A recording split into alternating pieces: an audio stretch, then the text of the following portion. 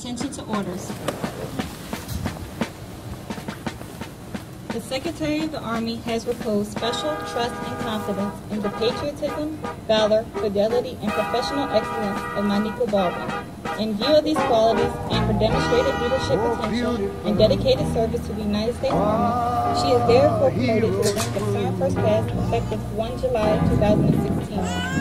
Signed, Michael L. Haycraft, Sergeant Major, Promotions Grants.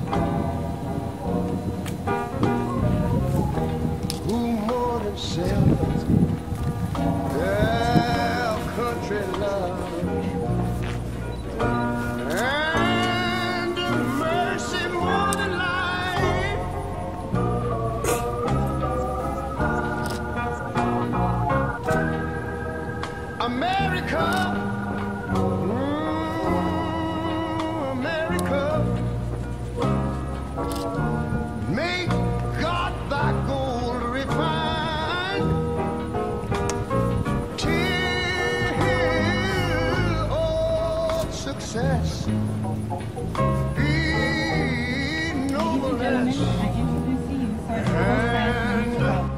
Uh, every gain divine. You know, when I was in school, we used to sing something like this. Listen here.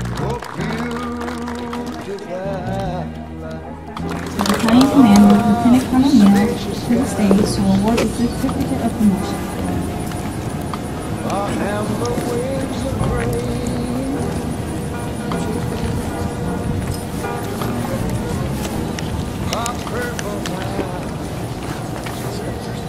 The certificate reads, Know ye that reposing special trust and confidence in the fidelity and abilities of Monica Baldwin, I do promote her to Sergeant First Class in the United States Army to the rank as such on the first day of July 2016. You will discharge carefully and diligently the duties of the rank to which appointed and uphold the traditions and standards of the Army. Soldiers of lesser grade are required to obey your lawful orders.